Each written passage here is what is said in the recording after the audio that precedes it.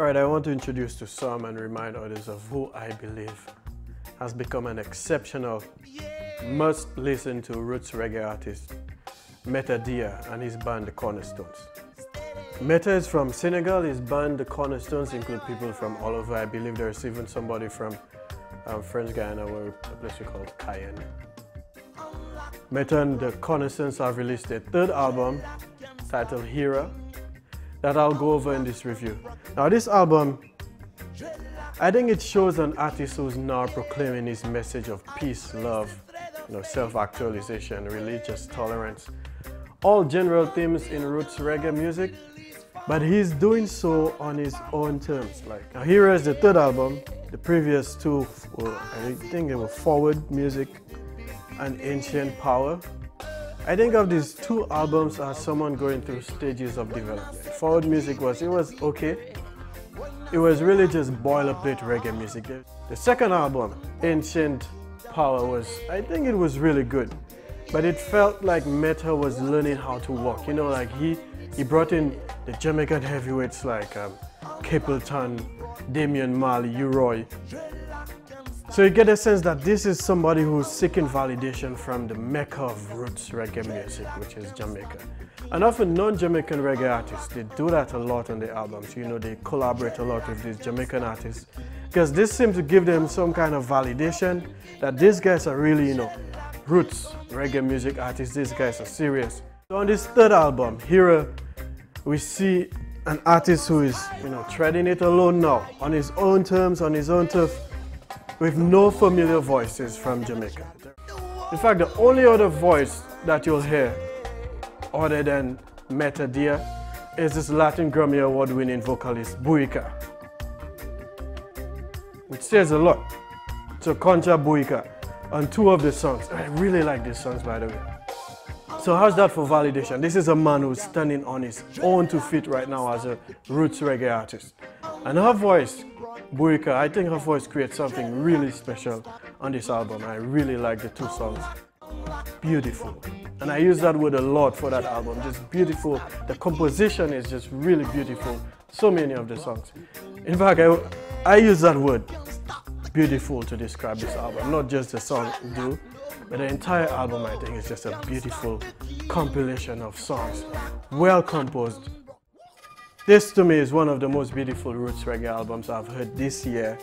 In fact, probably in a few years.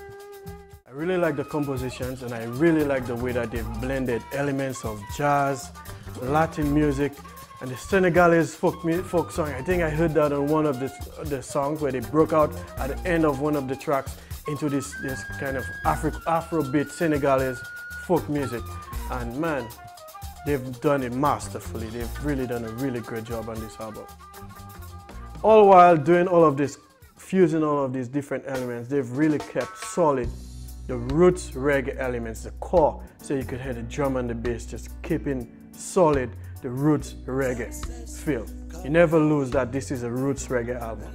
Themes are just common themes that you see in, in Jamaican or in, in reggae music on a whole, which is love, peace, you know, justice, equal rights and justice, tolerance. But there's no overtly Ras, it's not an overtly Rastafarian album. You have very little mention of Selassie in this album. Which is why I think he has a much, he's, he's searching for a much broader audience, a much wider appeal. But you'll hear many of the, uh, of the songs speaking about, you know, sort of the beauty of Islam and a call for religious tolerance.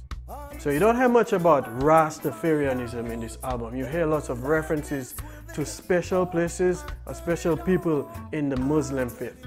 We know Hira is the cave, um, Thomas from Mecca, where in the, in the Islam traditions, that's where the Prophet Muhammad received his first revelation, and that's where the Quran was received.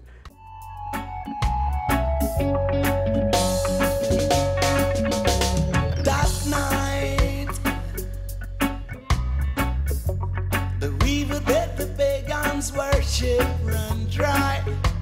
The fire they were praising turned off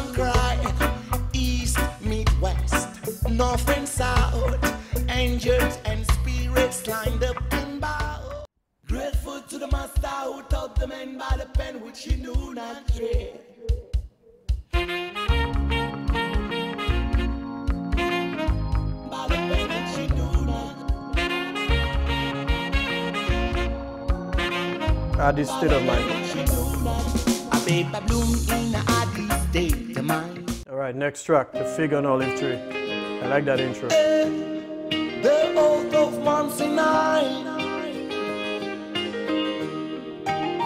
And this song is really about finding your own peace of mind. Not just finding peace between religions, like the theme in many of his songs, but really as an individual, finding your own peace, is really important. to rise. Gotta find peace of mind. See the light we shine. After all, where I lay my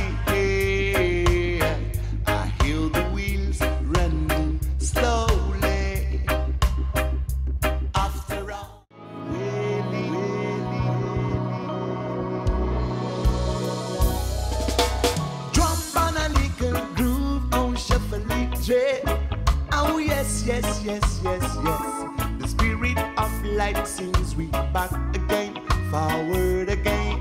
A drop on a little groove on shuffle it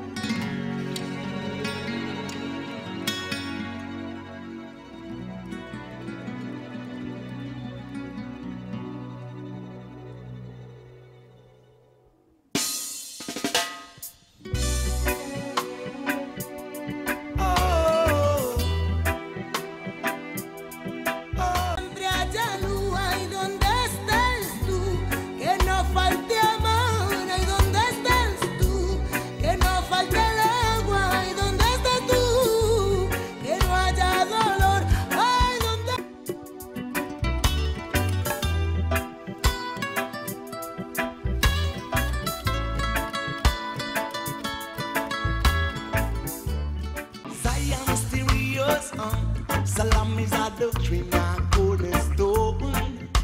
Zabur was given to King David, followed by his son King Solomon. Join the people at the race. It's only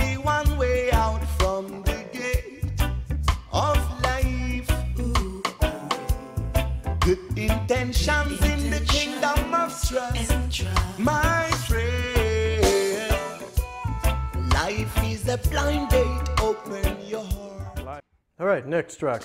Mind your business. Mind your business, man. Check it. Don't mind me.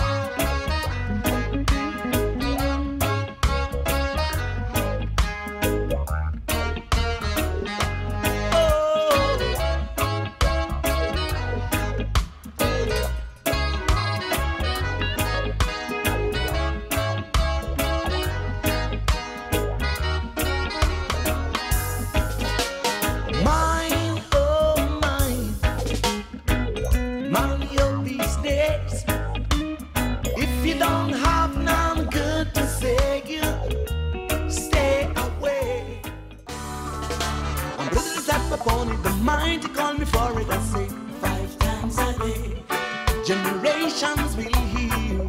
Bilal is here. Five times a day. I'm brother tap upon it, the mind. Next was Regardless, again with Buika. Listen to the Latin feel, fused in this, and then rolling into a reggae beat. Roots reggae.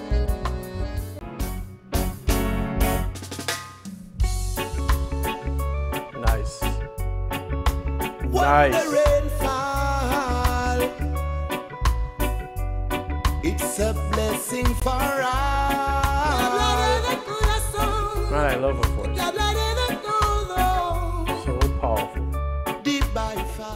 Tomorrow is around the corner. Make sure what you borrow and take away oh, your honor. Good deed is a loan, tax back the owner. The interest is higher, high.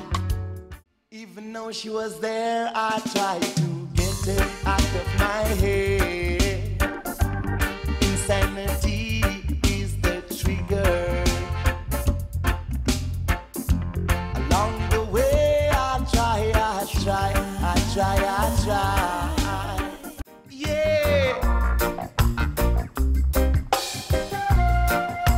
Wait, wait, wait, wait, wait, wait, wait, wait.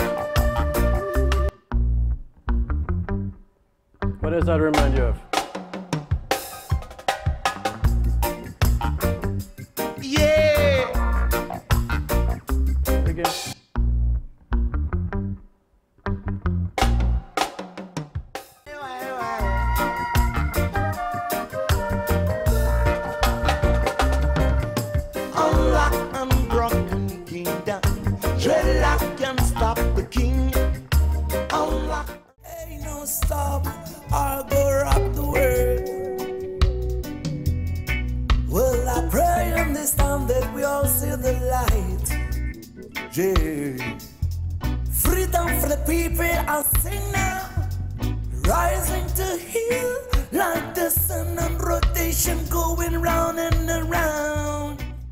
Okay, So that's the full album.